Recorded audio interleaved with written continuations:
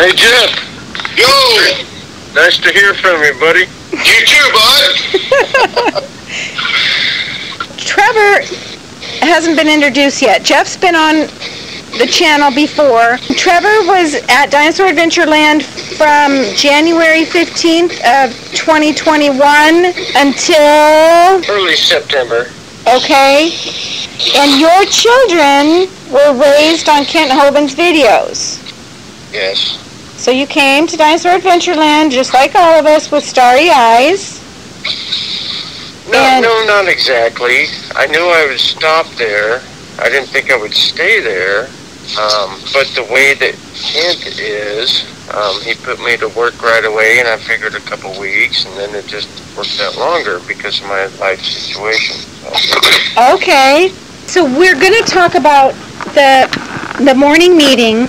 So after Kent Hovind gave the order to bail Steve out of rehab against the doctor's orders when he'd only been in rehab for two days, Laszlo picked him up. And on the car ride home, Steve confessed a bunch of stuff to Laszlo. Mm-hmm. And I- the next day at the morning meeting, Kent Hovind told Laszlo to tell everybody at the morning meeting what Steve had confessed. And that's what Trevor wants to talk about right now. Laszlo came in. You were there. Well, for one, Laszlo is startled at this point, and he and you can tell he's like, well, uh, he got the Jeep from embezzled money. He's been an intravenous drug user for a long time and never really stopped. Long a list of like shocking things. Can you elaborate on the embezzlement some more? Because that's one thing they're denying right now. But um, Laszlo apparently at that meeting told everybody that Steve Lynn had embezzled tens of thousands of dollars from donors. Right. That's I- another I reason heard- we're heard- doing this recording. Donors need to know. Tens of thousands was the phrase. We were face palming at other morning meetings. This one, we were like staring off in the distance, like bewildered. Totally bewildered. You didn't know. Didn't know, and we- also we were under the impression that this ministry is barely getting by. If we Right. work a little harder, we'll make it. We're not. We didn't reach as many people as we can, and then money's going to his drugs and to his Jeep that is got carnival lights on it. He's got massive tires and speaker systems, and and and you're like, you bought that with some granny's some granny's donation. This is going along with the same thing we were saying before about the recordings that just came out about Kent laughing about ripping off my money and you're talking about grandma's donation. Well, for those people who know me, it was like stealing candy from a grandma because I was like giving from love. Yeah, yeah. It's a one thing to steal from just a stranger, but it's another thing to steal from somebody who's trying to do a beautiful thing. Cindi, he kept the fact that they were your donations from the staff.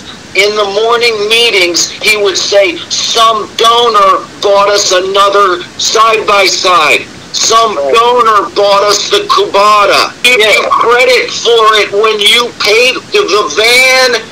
All that, none, none of that. He never. That's that's why I specifically said Cindi side by sides in that when I confronted him that day. Yes, you did. This is craziness, man. Well, this is this is just insanity from top to bottom. I love both of you because you're getting angry and it makes me feel like you can't talk about this kind of thing in a normal, oh, well, this is how it was. We, then embezzled, and then yeah, and then I then I bailed out his credit card, and they he mocks me publicly. You know, it's like but I'm going to keep my voice down and I'm not going to be angry and I'm not going to be shocked, right? It's just like not appropriate. This stuff You is enraging. Cindi, did you get the part about because giving Kevin a, a snide jab? Kevin was oh working on the floor in the church, and he was the last one. Everybody else had bailed because it was too hot, and they, they were sick of Kent's abuse. Yes. And Kevin And, was hey, the lone hey, person. Trevor, were you there when Kevin almost, Kevin, the guy climbing without the ropes on a 12-12 pitch with no safety, nothing? Go ahead. Do you want to tell it? Because that shows you the level of dedication this young man was showing. Yes, he was up there on that roof that I refused to get on. Mm-hmm. Me too, basically. Kevin was up there, and he slipped and stuck his foot on the skylights. And Kent got pissed off at him because, hey, you're ruining my skylight. slipped and was falling and almost and, and basically put his foot on the it's real thin I mean your foot would go right through it. It's thin Right. plastic. It's the cheesiest skylight you can possibly even buy. And and and Kent's at the we're all looking up at Kevin. The job would have stopped if Kevin wasn't up there because Jeremy wasn't there that day. The only two guys that would climb up on Right. that steep Right. with with with nothing. You're climbing the the rafters. Between Doc saying, "Run the screw, run the screw," the, the, Dwayne would say, uh, "Let me do this, let me do this. Don't yell, run the screw. I've I've got to get my get it right." So Kevin almost falls and was almost basically hits the plastic. Doc yells, "Watch the plastic!" Doc is And Kevin, Kevin, the Kevin, the Kevin's a quiet dude. The way Kevin looked at him, said, Yep. "I'm gonna come down there." Uh, Kevin gave him a look that was like, and Kevin was startled because he almost fell. Right. And nothing about hold on tight, son, hold on tight, or all right, well, get the vests, get the hooks, get the harnesses, watch the plastic. I agree. So um, that was when it was stick framed. Months and months later, they're finally finishing the inlaid custom floor, and everybody has quit, and everybody has seen what kind of person that is running this DAL, Right. and they show a picture of it. I wasn't overly thrilled with the picture of the floor, but other than that, he says, and then there's Kevin working on it. It took him a zillion hours, and then he says, but we need to get him a wife so he'll stop griping. Right. Oh, that's bull. And this guy is the one who stuck it out to the end. Right. Kevin Thompson. And not I'm totally disappointed because truly, I was the only one that came down to help you, right? Yeah. And then I think I had a week and a half that I was still there after you. Not one single person came to help me out, talk to me, do anything. Truly. These are Trevor. Let me say something, okay? It's pretty likely that they were ordered by Kent Hovind not to help you because Kent Hovind would not allow people to talk to anybody who was going to be leaving on sad terms. He considered that uh, gossip or uh, sowing discord. And I kind of wanted to get a witness on this because that's what he did to me. And he told people, don't talk to Cindi, don't answer her texts, block her, don't help her. And if you do, then you will be considered rebelling against Kent Hovind and you'll be um, kicked off the property. This is Kent Hovind's MO. I just want to get your guys' witness on that, that that's true. Oh, it absolutely is, and you mentioned it. I thought your your um interview with your mom was good. Thank I you. really I enjoyed that. You you kind of could tell there's a, a little bit of tension, and Yes. that, I'm telling you that endeared you to people because that's how it is with families. You're like, okay, mom, yes, back, get back to the point. now it's just that's how everybody is with their family, and you mentioned it as isolating you, and and then what they call it, you know, I mean, in, in more fundamental um, kind of Puritan Amish types, it's called shunned, shunned, and uh, you know, and I think that was the same thing as um as what you meant by isol- isolationism or whatever you had called it. Jeff, I never thought of that. You're totally Yeah, right. of course it is. And you know, And the, uh, oh yeah. And I want, I mean, a shocking things from your interview with your mom. I don't want to get, but up, up, this is to your point. The fact that when you said that your propane tank was vandalized, that is like, I don't want to say it, but that is like not your average run of the mill vandalism. That is a scary, scary thing. I'm glad you got that out there that, that, that, that this is the kind of person you're t- dealing with. Paint tank, and we're not talking a grill. We're talking the big job, the big one. And then the fact, the other thing was that the Steve, Steve wasn't even doing the inventory, paltry sales he gets.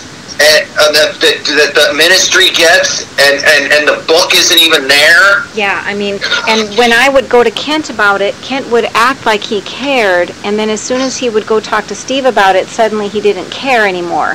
And it always stunned me, and in fact, the secretaries as well were stunned that apparently nobody gives a dang that customers are waiting two weeks to have their order filled. Unbelievable. Unbelievable. That, that's one another thing we used to say about the construction. We'd say if this was a business, we'd be out of business. Right. Running the business, that makes you think, hmm. So he's not overly concerned that that, that he gets his sales. Huh. The money he's living on, you're not seeing. Eh, or, or he wants to keep those no you know I, I, I, what do I know that is not you know if that's how if that's your bread and butter and you don't care It's not consistent with someone who says that they care about the ministry. And those of us who do care about the ministry and want to see things done well are shamed. Abused, not just shamed, abused, kicked out, gaslit. Did we finish um, everything that Trevor wanted to bring out about Laszlo and what he shared?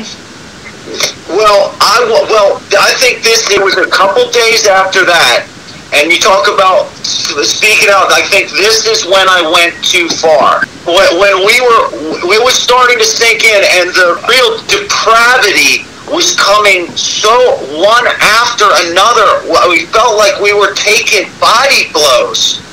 So at the morning meeting, and then he says, "Oh, Steve's back. Uh, Steve, Steve's coming back. Steve's back, and, and we and we we repentance and we forgive him and all that. Everybody's had trouble with drugs." And he also said that they recovered everything that he embezzled, which was a full-on lie. Yes, yes. So, the, so this was not recorded, but I, but I raised my hand, and I, Trevor, I hope you were there. I, you, but there wasn't any. I looked around and I said, "Oh, there's no guests here." So I raised my hand and I said, "Is Steve gay?" Goes, no, no, gay. No, no, he's not gay. And I said, really disturbing. I said, and then he busted off so much that I wasn't going to let him off the hook. And I said, do you know what S and M is? But I used the full words. And he goes, yeah, oh yeah, yeah, yeah, yeah, yeah, yeah, yeah, yeah, yeah, yeah, yeah, yeah, yeah, yeah, yeah, yeah, yeah, yeah, yeah. And then I was like, okay. And I, of course, there was I well, nowhere else to go from there because he brushed it off like it was was an average question, like it was a run of the mill question. Like, Well, uh, did he realize that Steve had gay bondage films that's what I was looping? trying to get across. So, you actually asked Kent that? Oh, point blank. Very near the one I recorded when I when when Freddie and, and when the girls were crying. It was it was either the day before that, the morning or two before that, and so I knew my my goose was cooked. So Well, it's like an obvious question. I didn't know that there was that uh, gay bondage loop on the other computer. no, it's bad enough that it's that it's there. Secondly, on loop, and then thirdly, on the screensaver. This is depravity of its worst kind. Well, for Kent to say no, he's not gay is ridiculous. He didn't show concern to his. He got his ma- His mask was on. He doesn't give a dang. What? Oh, sure. Yeah, I know what it is. Yeah.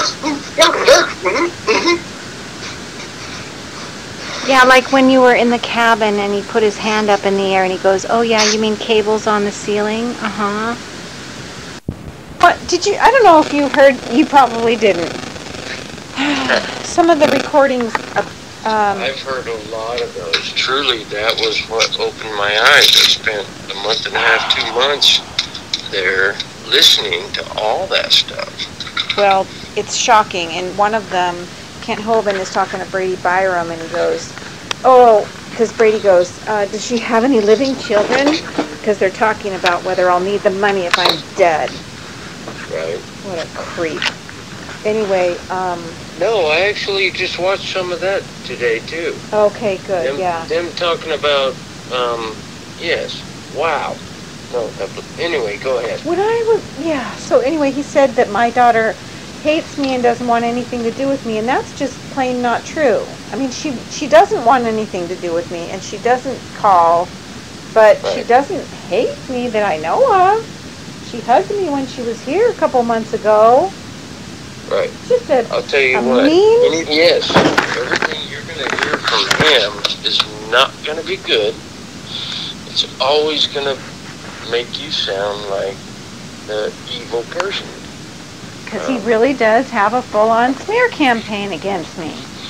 Against you, yes, mostly you right now because he screwed you out of $150,000. And because I'm coming after it, And you're the one coming after him. uh, suing him for the uh, body slam and, and Right, right. But that being said, he treats everybody the same way. Everybody. And see, that's what I want to get out. It, I mean, you have more, lesser and more degrees of how he treats you, depending on. But he treats everybody the same way. So it's part of I- his agenda to make you feel small, if not, Yeah, but he's slick about it. I mean, really slick about it. When I showed up there, truly, within five minutes of talking with him, what do you know how to do? Well, I can build you a house. Okay. And so he put me to work. And I felt needed, kind of, I guess. Um, but it's funny how quick, w- once you catch on to him, how quick he turns on you. That's, I guess that's my point. So you did not come to stay long-term. You just came to visit and you got drafted. Oh, yeah, I figured a night or two. Um, actually, I called the head and said, "Hey, you guys still looking for volunteers?" Oh no, we've we've had too many people through here. and, oh, well, do you have an RV hookup? Yeah, you can stay. So I pulled in, then I talked to Kent, and went and ate lunch, and he put me to work because I had some skills. Ah, yes. So, well, okay, so you didn't exactly have stars, but you definitely had respect. What changed? Oh boy. Truly, it took me five, six months before I saw really. When we started building the church, that's kind of where I I got a true vision of Kent. Yes, I think Jeff had some disputes over that church building as well, as many people online have stated that it's going to fall over in the first storm. Right. And I warned him for weeks about not putting enough blocking in, not just not enough anything. I've got some real issues with that thing. Do you remember, Trevor? Do you know, remember the situation with changing the trusses? Changing the truss from the it's a pole barn kit, right? Right. And then and then they, he had Laszlo change the angle on the uh, trusses. Right. And then, uh, and then, man, I feel like that. Uh, That wasn't my biggest issue. My biggest issue was the first day when he got involved. The first day, um, we had the walls up, and truly, it was before this that I saw his change in personality. He um, kept kept throwing out a bunch of plywood on the floor, and then demanding we get the roof up before the rain ruins it. It's a thousand dollars of plywood. So I think it was three, four times we put plywood out, drug it back, put it back at. It's just yes. ridiculous. Yeah. Um, I think the Can- moment that I checked out of that project was when we got to the gable ends because he did the center trusses and then got to the gable ends. And I went to get the tools to the string lines and levels and everything to line it all up. And, oh no, we'll just eyeball it. Yes. Yeah. Oh, what? and that showed up later on. Basically, the only one while I was there that was voicing the concerns of Yeah. somebody with half a brain. Yeah. Um, Yeah. And you know, the guys that don't, month after month after month, I, at, at first I was like, well, you know, good, he's once, he, one of them said to me, I'm just here to help. I'm the mover. I'm going to move the things from point A to point B. As far as his ministry and that, I'm here to help it physically, but what he does with it is not any of my concerns. That only held water for just so long. right. Trevor, I'm really glad that uh, you, you, that we that we were there, that you were there towards the end there when we were working on the, uh, you know, up in the um the the old dining hall. The the the chaos and the strangeness was so, coming so hard and heavy that every week, I mean, when it was his arrest and his cops, and then the helicopters are flying over, and then Steve's arrest, and then all the internet finding out about it, reading the reading worst nightmare, and, and then saying, "Oh, what is going on here?" This I'm glad I had someone on calm like yourself. What, Same here. Go through that with because looking back, it was an asylum. Yes. I remember, actually, Jeff, I remember telling you at one point. This is when I was cabin nine before you were gone. It used to be a beautiful view out there, and then all of a sudden it's like a dark cloud. It's like it's oppressing. Um, Yeah. I, I, I hide in my cabin, and every time I hear a side by side, I peek out the blinds, kind of thing. You know. Um.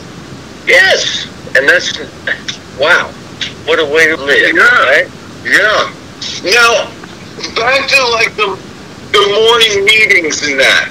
When now there was a guy, and this was that concerns the church and the morning meetings. There was a guy began the sheet sheetrocking, and he was good, and he, he came with his family. I want to say his name was James, but I, I can't recall. But he was from Texas, came with his family, and he was crushing it. He's a lot of the work in the church, right? Yes. Yes. You remember him kind of a kind of a baby face, but with a oh yeah, he had a baby face with his beautiful, super cute kids. And I said, you look just like your little kid. Him and his kid had a baby face. but my point, my point is, is that we were face palming at the morning meetings when he was he was saying that to paraphrase to quit sleeping and how come you didn't get that wall up? And I took I've got jobs waiting on me. the guy's been there like a week. He's been busting his. I remember. Yes. And like, oh, you're not fast enough. You're kind of. Hey, what are you doing? that said something. We both face palmed at the morning meeting, and then we, we got started setting up, and he started packing his van. Yes, that And, guy. and uh, here, that guy here comes here comes Doc, curtsying along. He's doing his curtsy, and he's like, "Where's James? Curtsy. Where's James? Curtsy." And I'm like, uh, "He left, man. You He's outta here." him for the last time." He's out of here. What is, what does it mean? I actually, I went down there and talked to him while he was packing. Hey, bud, what's going on? No. Right, but he was not happy, packing up his van, stopping the job after he was on like two levels of scaffolding doing a gable wall. Right. Is that all you got done? He's leaving in the middle of the job. He's packing up his family and taking off. Screw you. You finish the job yourself. Yes, that's a testament to Kent. Yes.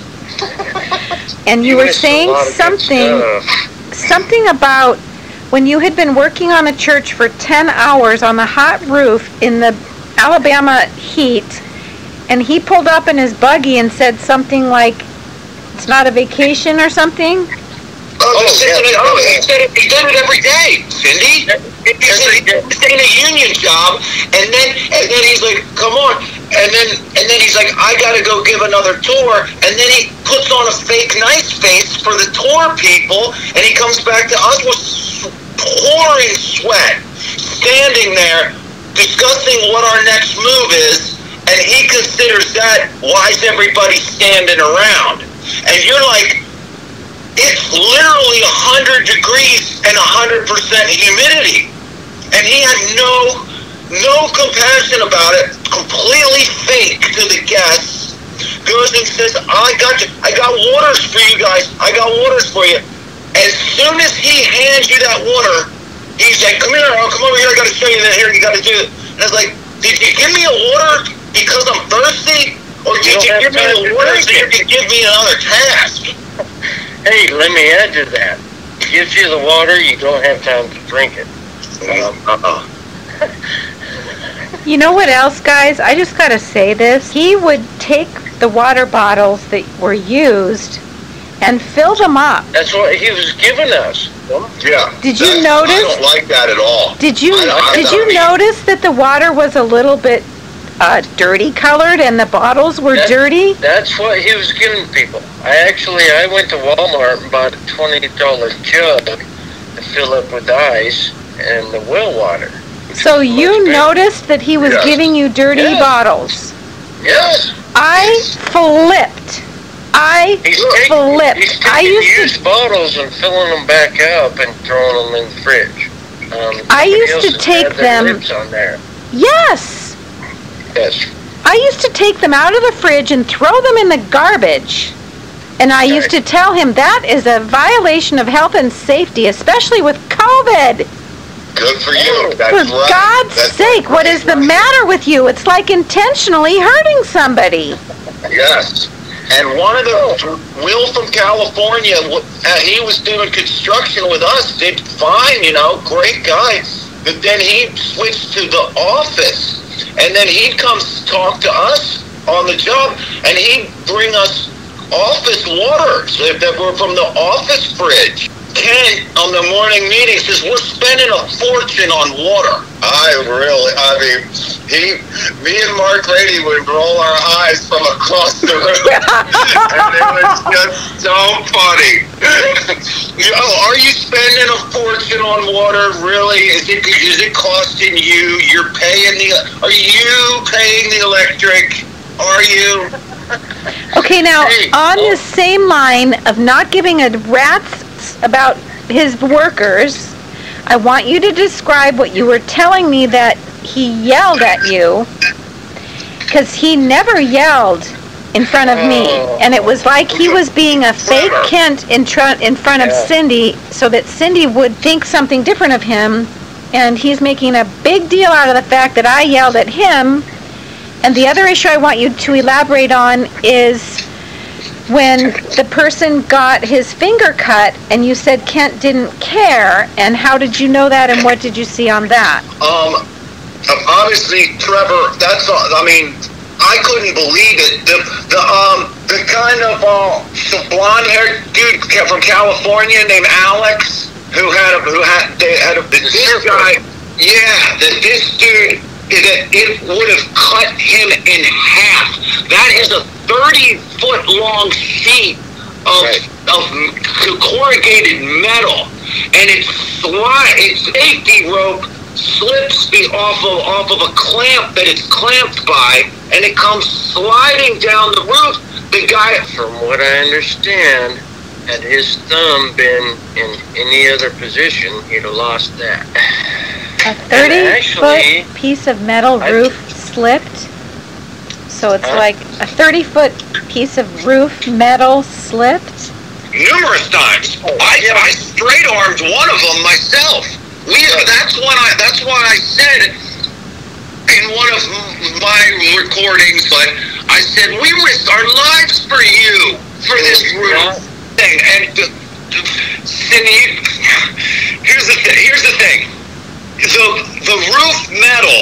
I mean the roof the, the church plywood. And during this time, do you guys remember that all the um, all the lumber prices went through the roof right at this exact time? Do you guys remember that? Yes. Yep.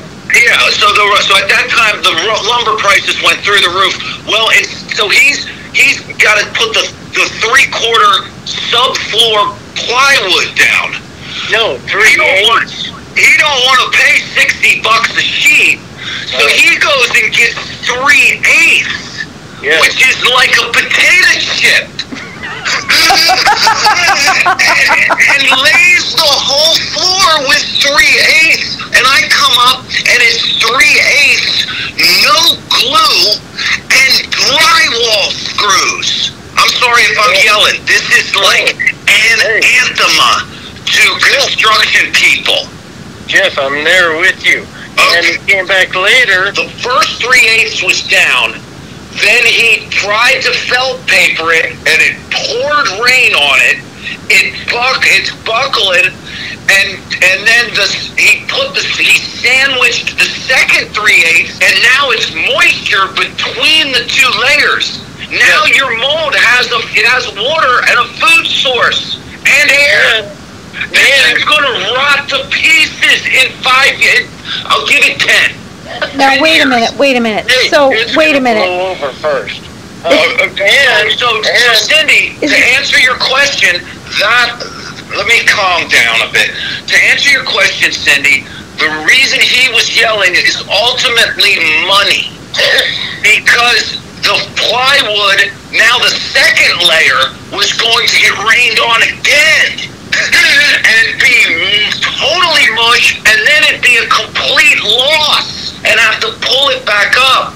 So, yeah. so he was, so he was he, so mean to us to get the roof on, so he wouldn't look like a jack by first of all putting two layers of three eighths with wet with wet felt paper between them no subfloor glue and using drywall screws on your subfloor.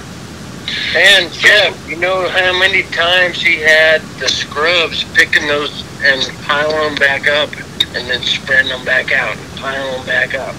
Yes. He, he kept sending us texts. I need some help right now. brother. Um, Uh-huh. I might pay you a little extra, but I'm gonna lose a thousand dollars in plywood. Well, you dumb, stupid. So wait, cover it with tarps, and then there were puddles on the tarps, and then the puddles are splashing into the plywood. And the ply- Good. Oh my Good, god, Jeff. it was so bad. Jeff, hang on.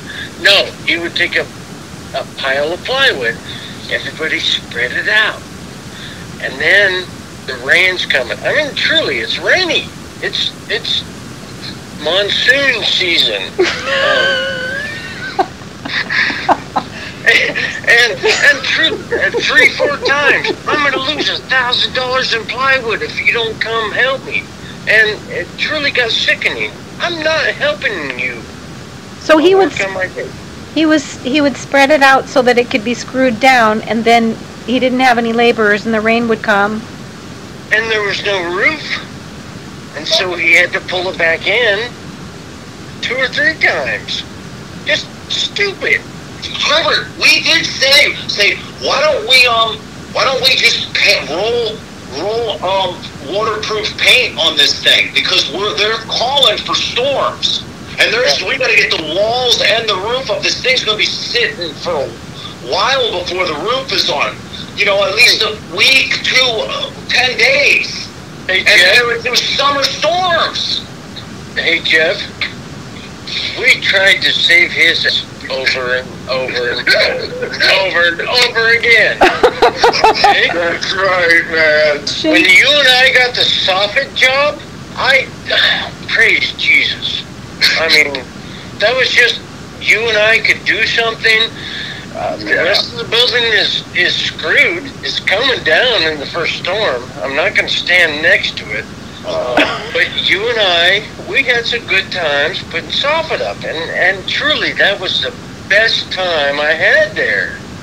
Um, So because part of that recording didn't get recorded last time you were talking about the soffit job, I'm gonna explain a little bit. So we were talking about how Kent would pull up in his buggy and insult the Oh, crew yeah. and then pull away and that they were so glad when they got the soffit job because Kent left them alone. And they could just Jeff, hey, work let- like normal Jeff, people. We would get out there and bust our ass in Alabama heat in the midsummer. We would sit down and discuss the job less than five minutes. I mean, we're all guzzling ice water. I mean, we're we're sweating. Mm-hmm. You're not going to shock, kind of. I guess. Yeah. Um, and he would pull up less than five minutes after we sat down. Every time. um, what is this? A union job? Yeah. No, a union job would give us breaks. You know, yeah. We'd be forced back into working, and after doing this for five, six weeks, that's kind of where I got to, eh, no more. Kind of like the guy that packed up and left. You're like, Yeah. nope. And Jodie brought something like that up in her interview last week, that a guy that was doing the tile down at the lake did the same thing. Kent Yeah. pulled up and insulted him after he'd been working his rear end off, and he packed up his family and left. Mm-hmm. And he was, and he's like, "Where's, where's it?" And just completely oblivious about it. Where's, where's James? Oh, He's we, not. we, uh, you don't hear yourself. Apparently. Actually, he's not oblivious. Oh, that's kind of. I think it's Oh. calculated. Um, You think it's what? Calculated? very calculated. It's Um, my conclusion on it is that I mean I didn't see a lot of it because I'm not working construction and I'm cloistered in the house at this point. Right. But what I think is that he, I saw him on numerous occasions greeting new people who came in. And he would give them a demeaning job. And it was almost as though he was testing them to see are you going to be submissive to me? Because if you're going to balk at this demeaning job, then perhaps I don't want you around because I only want people who are going to bow to me. yes. Mhm. And truly, whether he realizes it or not, that's what he's doing. Well, and that goes along with what, what you were saying about, that's why Jeff got canned, because he had the nerve to speak up and he wasn't gonna bow to, um, unreasonable requests. And, Truly, at that time, Jeff was the only one saying anything. well, and that's why I got the boot as well. He and I I, didn't talking behind this, but I was already, I already had plans to get out of there, and so I was kind of being quiet. And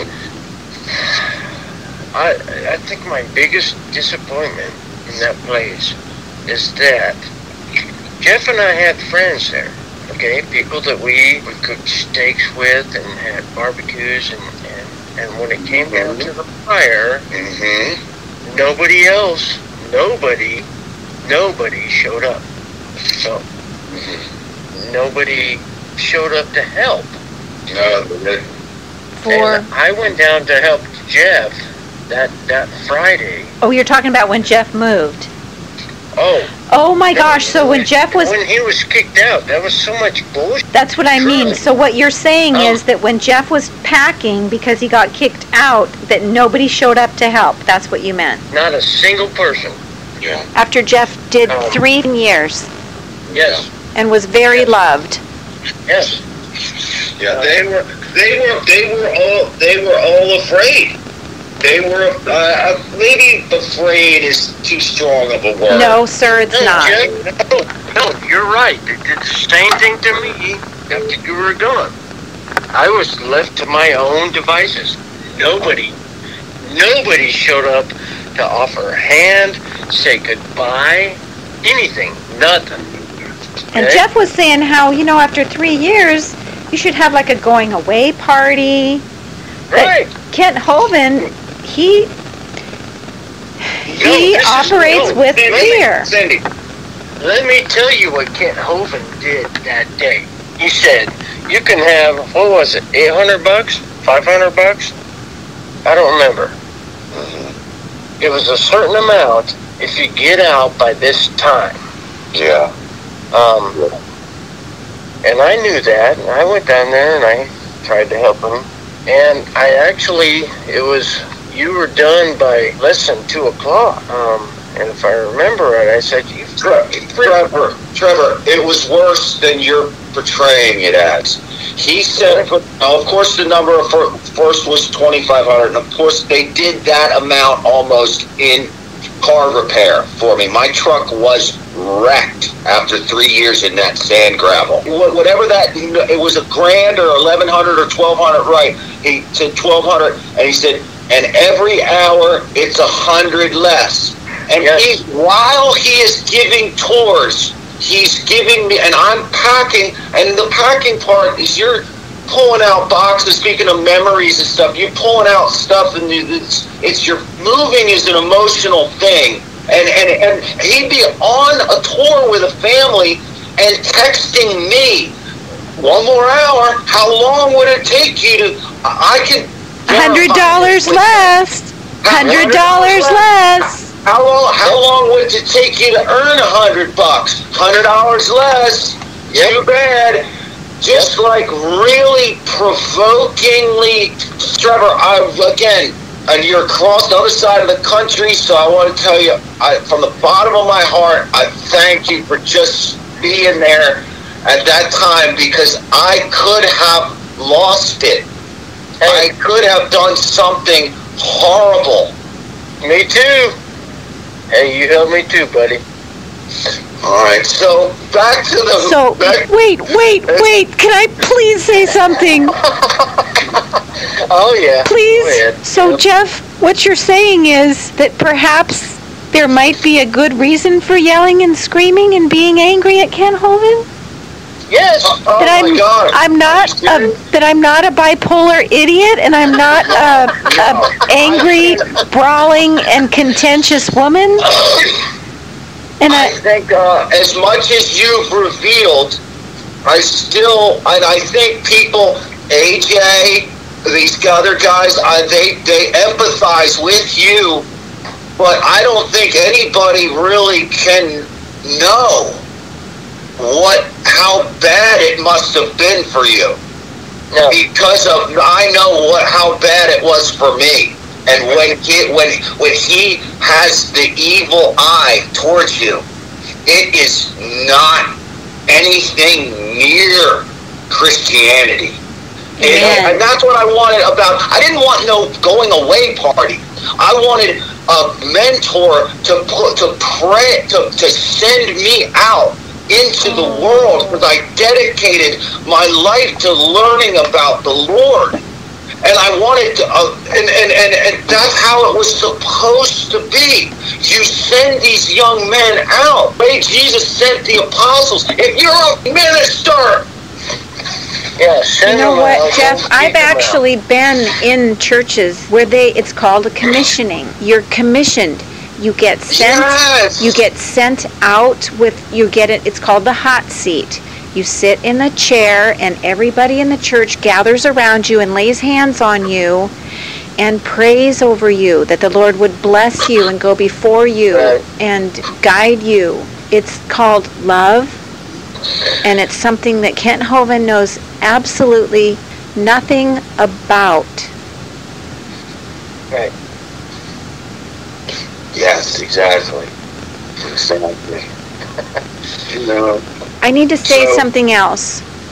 I was approached by somebody else who happened to be a witness when Kent Hovind received the check for you. Ernie Land wrote a check for $2,500 for, for Jeff. However, he made the check payable to Kent Hovind because, because he aids and abets Kent Hovind's disgrace. And he knew that he wanted Kent to have the discretion to use it over your head and punish you. real. So, the check was made payable to Kent Hovind for $2,500, but it was for you. And so, mm-hmm. since you only got 400 of it, what do you think happened to the rest? Yeah, yeah, yeah. And, He, and he skims. That's that's his business. He skims off of. They say, "Oh, we need three three hundred dollars to take the guys to lunch."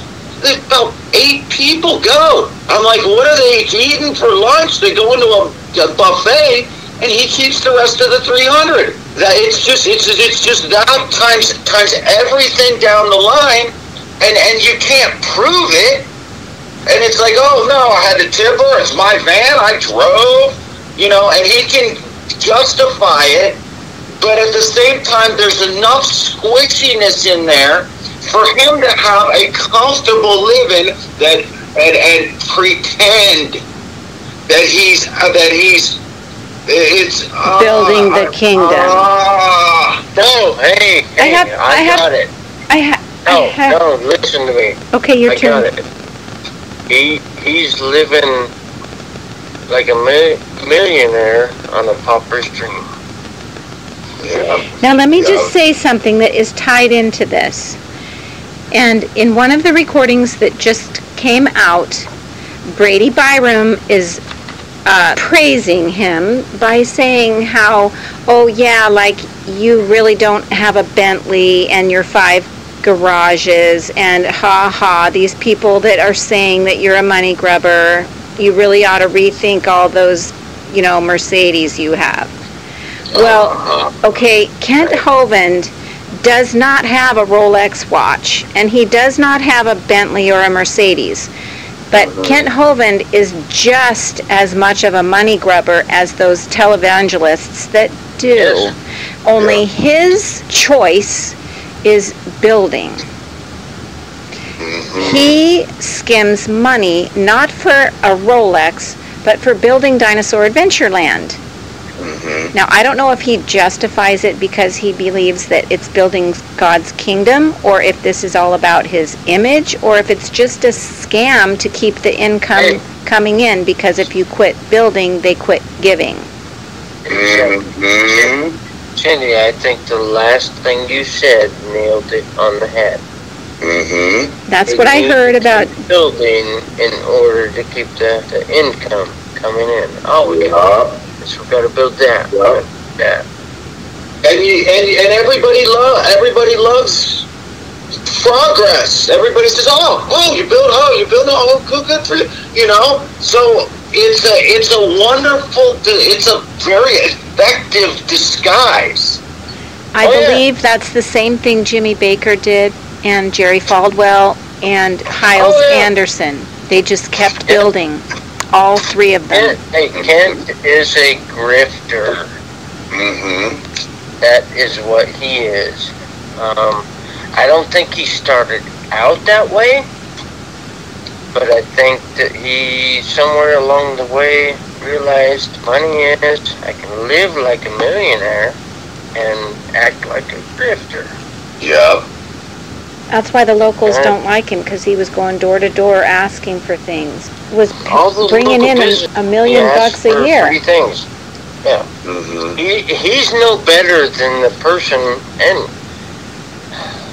I say this with a grain of salt because the person out there begging for gas may need gas, but Kent is no better than that. That's what he's doing, um, but on a bigger scale. Yeah. Now, you guys started to tell another story about Kent Hovind yelling at you, and it involved the drone and, um, Oh, that was me. It really, it really showed the real person. Whereas it, it, it just real putting unnecessary stress on the situation. Go ahead, Trevor. It was, but from a, from a objective third person point of view, saw the whole picture in that little scene. I'll tell you what, you were the first person I came to complain to about it, and that was the final straw for me. I already was planning to leave. That's when my work ethic went to zero. I'm not helping you anymore. Um, that's really a sad thing for uh, for you, for him, uh, for I mean, how to, to have a guy to, to have a guy come to that point? How does that happen? Right. I just spent six, seven months working my ass off for God and Kent Hovind. and he that- demoralized you to such a point that you wanted to quit. Yes. No, that was the actual point where I did quit. That's where I, yeah, you're gonna get this job. I will do this for you, but it's gonna be the job I ever did. And you know what? This is kind of actually funny. I I talked to um, Jeff and Kevin up there after after I did the job. I did the worst job I could possibly do on this trim job, and Kent comes by. Oh, perfect, brother. That's, that's it. Oh, So he doesn't. But you were going to tell about the yelling, okay? Because he oh yeah, is he came down. He Yes, is yes. reaming me up one side, down the other, slandering me publicly because I yelled at him. And I didn't Right. think he ever yelled.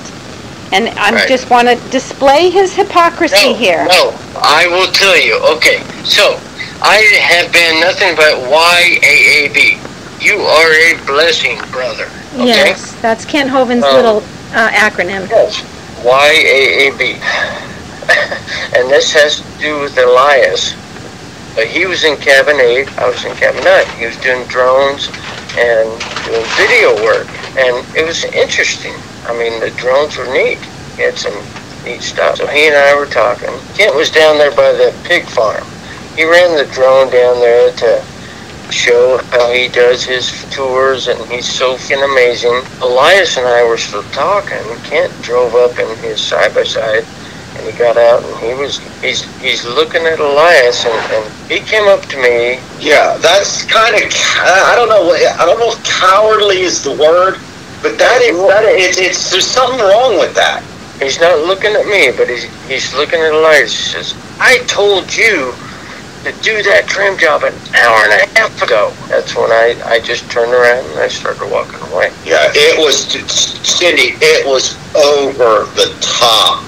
As I far it. as as far as there were my tools at the dining hall, and I'm not no longer using my tools. I my uh, my tools get borrowed. They don't get returned.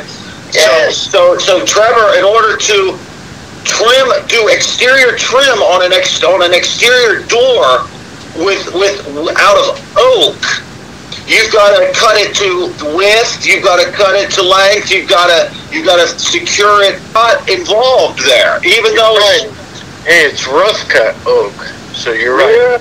external. The the sheet, the skin of the building wasn't absolutely complete. I don't believe there were issues with it. So Jeff, what you're trying to say is, it's not necessarily an hour and a half job, number one, and number two, wouldn't it be okay if he's spending time observing the drone and fellowshipping? Exactly. The fellow that he was took this fellowship to zero for us. There was no, you were no longer a pair of hands, not a person. Actually, in my mind, it went from truly. I spent eight months working myself. It, so in my mind, it went from you are a blessing to you took